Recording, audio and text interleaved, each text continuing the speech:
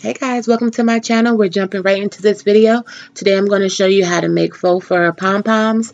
They are awesome to go on top of your crocheted hats or whatever your projects, crochet, knit, um, anywhere you would like to add a pom-pom. Now these strips of fabric I got from Joann Fabrics and they are the brand Fab Lab. So you can Google them, find out where they're sold, order them online. Every Joann does not carry it, but they do come in a multitude of colors, okay? So I chose gray and white because they're going to go with the projects that I'm working on. And um, let's just get started. Now with this, you're going to need a tapestry needle, but you need a sharp one, okay? So they call them darning needles, um, but just make sure they have a sharp tip. You're going to need scissors. You're going to need some polyfill. Now, this is the smallest bag that I found because, again, I didn't want to overexert myself and buy too much. It was about $4.99, but if you don't have that or you don't want to buy it, use some scraps of yarn that you already have at home and you can stuff the pom-pom with that. Simple, it's easy, and you don't have to spend any money. Okay? So I'm going to remove this stuff and you're also going to need a round object. I'm going to use a medium-sized bowl. Um, now this bowl is going to give me, I believe, six and a half inches of the circle that I want. So if I wanted to make another large pom-pom, I can get two out of this little strip of fabric. Okay, now if I wanted to make smaller ones, then I can get more, of course.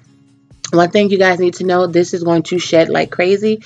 Um, so just to make sure that you're prepared for that, I usually have a sheet down when I'm doing the, the tutorials, but I didn't want all that fabric and the hair to get on it, or should I say the faux fur. So um, this is just easier to clean up. I just did it right on my countertop.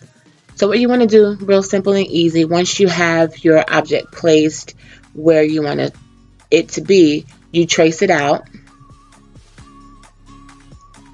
And then you'll just go ahead and once you have it traced, you'll start to cut it, okay? You want to make sure that you have sharp scissors. This in particular um, fabric doesn't have a real thick backing so it was a lot easier to cut than some of the ones that I saw in the actual fabric store that were on you know that I would have had to buy by the yard. So this was just much more easier to work with. Um, so I'm just going to take my time and I'm going to cut around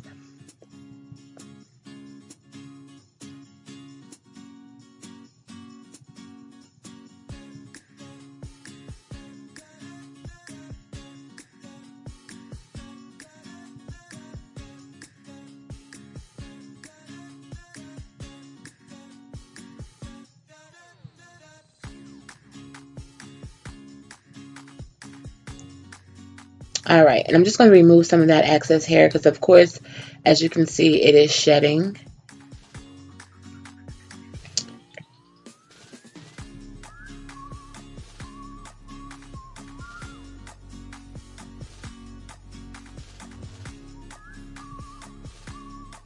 All right, guys, I think I got most of it off. And um, just measuring it again, and that did give me the circumference of six and a half inches. Um, so that's going to be like a pretty large pom-pom. So now you're just going to need worsted weighted yarn or any type of yarn. It has to be strong. So I chose worsted weighted and it is a gray yarn. Depends on you if you want to use the same color of your actual pom-pom. You don't have to because you won't see the yarn. So we're going to thread it and you want to make sure that you're about a half inch away from the edge because this will and can actually tear so you want to make sure you're about a half inch away. And it is going to be a little difficult inserting the needle. It was easier going through than coming back. Um, but, you know, if you have a hard surface, make sure that you just press down on the surface to get that needle to go through. And um, you're going to just go weave it in and out throughout the entire circumference of that circle. And just remember to stay about a half inch in. So as you can see, it was pretty difficult for me, but it got easier as I kept going. So you're going to weave it in and out, pulling as you go through.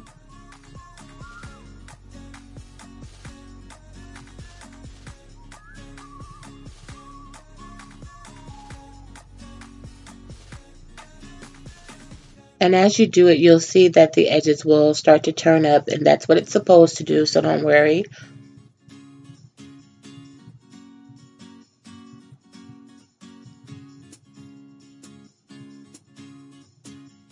And now that we have it all threaded, we're back around to the beginning where we started. Um, what I'm going to do is remove the needle and I'm going to start to actually pull on the threads, the, the yarn, so that way it can begin to close up even more so. And as I'm doing that, I'm going to add the stuffing to my liking. So it depends on how full you want your pom-pom to be. I believe the fuller the better. As much as I can get in this, I'm going to try to do that. So I start with a little bit at a time.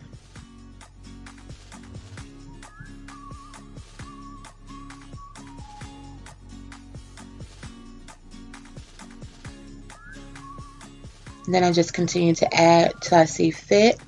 Again, this will all depend on the size that you have your circle cut out to be or that you want your pom-pom to be. If you didn't want to go as large as I did. And again, feel free to just use some straps of straps, scraps of yarn um, for filling if you wanted to do that.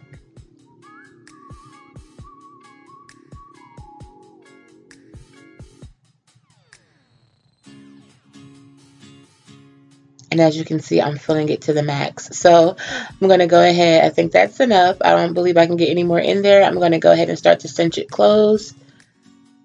And just carefully pulling on the end. Making sure that it's full to my liking. And once I get there, I'm going to tie it off. That's just going to secure the pom-pom.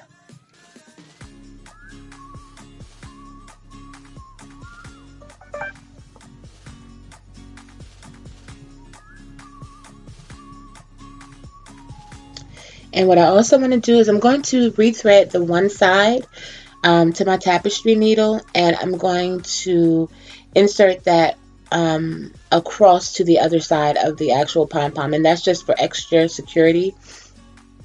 And that also will come in handy when it's time to actually attach it so that you'll have a string on each side of the pom-pom.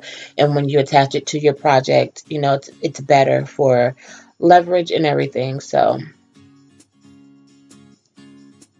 And again, just remember to be patient. Don't go all the way to the top. You want to go inward a little bit and insert your hook there so that way you don't tear the fabric.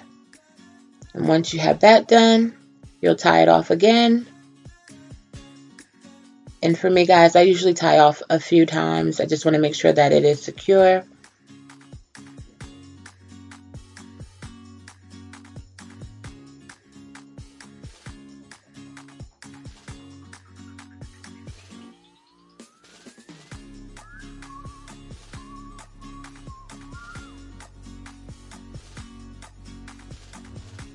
I'm just checking the pom-pom to see if it's to my liking. You can always um, just mold the actual stuffing inside also to make it a little bit more rounder.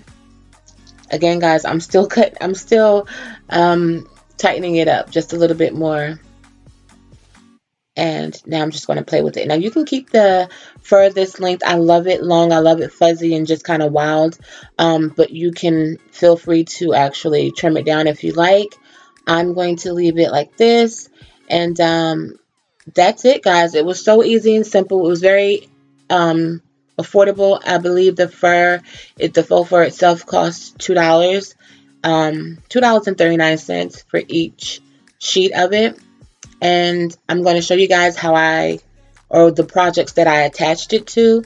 And I want to thank you guys so much for watching. Make sure you thumbs up this video and subscribe for more easy crochet tutorials or DIY tutorials. And these are the two hats that I did with the pom-poms. So thank you guys again. Be blessed and most importantly, be a blessing.